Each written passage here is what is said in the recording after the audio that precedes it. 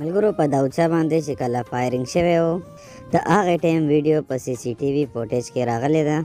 او په سوشل میډیا باندې ډیره زیاته وایرل شوې ده ملګرو څنګه چې تاسو ته پته را داوچا ډیر عیاش سړی دی او خپله لور خپلې کیمرې مخې ته ګډوي او په سوشل میډیا باندې هغه ویډیو اپلوډ کوي او خلک ترې نه مزې اخلي خو بیا هم ډېر خلک داسې دي چې هغه یې په دې باندې تنقیدونه کوي او وایي چې دا زمونږ د کلچر خلاف دي دا کارونه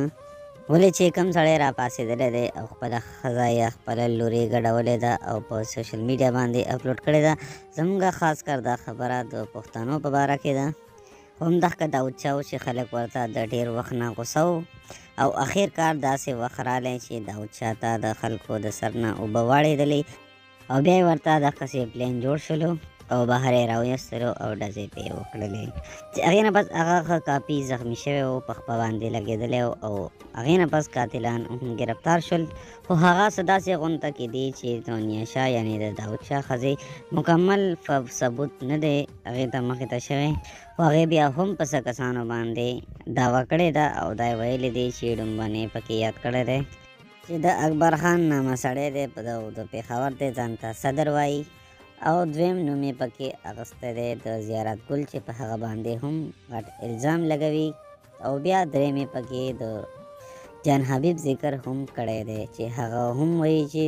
جان حبیب هم دا وایي چې دې کې زما هیڅ نشته غوث الجشا دا وایي چې تر ټولو ماسټر مایند هم دغه جان حبیب دی او دا ټول دغه جان حبیب راغونډ کړي دي زما د خاوند یعنې د داود شاه خلاف چې دی ولي او د هرسنۍ خلاص کړي یعنی کور په روان کړي ملګرو جان حبیب هم دا ویل چې دا کوم خلکو په داوچا باندې حمله کړې ده ډزې پکړې دي نو دې کې زما هیڅ هم سلاس نشته دی اول زه د دې نه خبر هم نو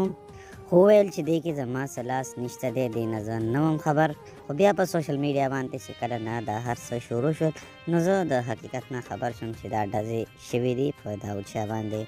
خو لا پوخ څه ثبوت نه دی ملاو شوی چې دا